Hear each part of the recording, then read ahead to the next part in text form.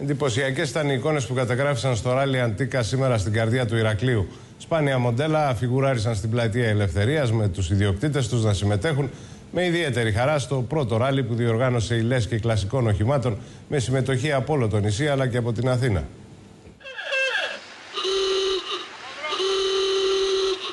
Άρωμα άλλων εποχών στην καρδιά του Ηρακλείου. Όσοι δεν γνώριζαν, σίγουρα ξαφνιάστηκαν ευχάριστα. Ο λόγος για το πρώτο ιστορικό ράλι με αυτοκίνητα αντίκες. Είναι η πρώτη φορά που παίρνουμε μέρος στο ράλι Αντίκα με ένα ντεσεβό του 1985.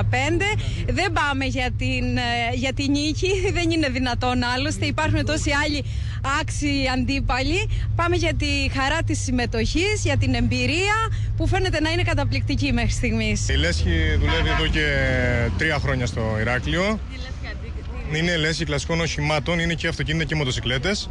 Ε, έχουμε γύρω στα 90 μέλη, περίπου τα 40 είναι ενεργά.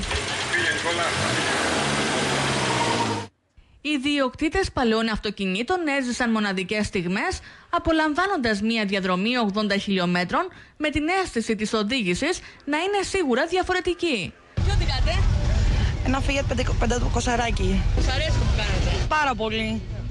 Πάρα πολύ. Σήμερα είναι σαν το κυνήγι του χαμένου θησαυρού, αλλά αυτή τη φορά με αυτοκίνητα κλασικά. Έχει διαφορά και στην κίνηση και στα κρατήματα, είναι πιο βαριά και στην κατασκευή.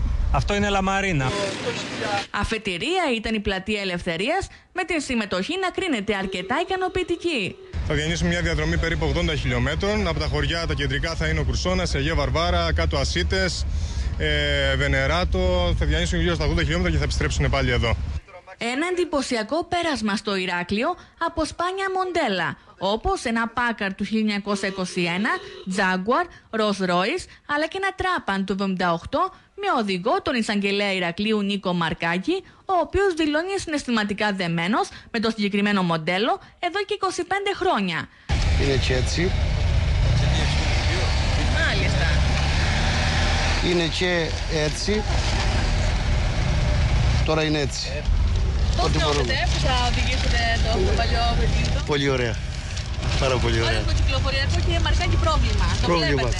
Α, αυτά τα μικρά αυτοκίνητα πρέπει να κυκλοφορήσουν. Το είδατε ένα BMW που είναι σαν κουτάκι. Αυτό είναι πολύ έτσι, πρακτικά και εξυπηρετικά. Στο τέλος της εκδήλωσης απονεμήθηκαν βραβεία στους οδηγούς που κατάφεραν να διανύσουν τη μεγάλη αυτή απόσταση σε ιδανικό χρόνο. Ενώ βραβεία απέσπασαν αυτοκίνητα χαμηλότερου κυβισμού και παλαιότητας, αλλά και με το πρώτο γυναικείο πλήρωμα.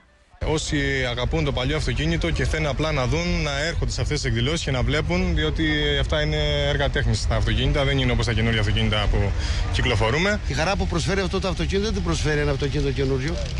Έτσι. Και υπάρχουν χιλιάδες αυτοκίνητα καταλήγματα που μπορούν να ε, επισκευαστούν και να προσφέρουν μια χαρά. Να πούμε. Είναι αθλητισμός είναι ουσιαστικά. Έτσι. Χρειάζεται να έχεις κανείς όρεξη.